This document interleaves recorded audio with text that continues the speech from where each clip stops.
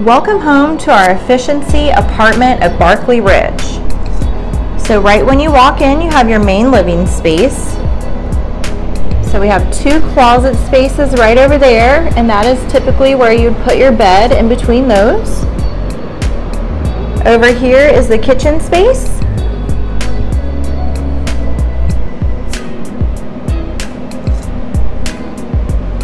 And right over here is the bathroom.